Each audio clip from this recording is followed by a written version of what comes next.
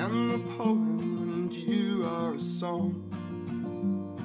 Written on pages but forgotten in time. I am the hospital you were once born. Thanking the doctor for making you mine. So don't let your worry man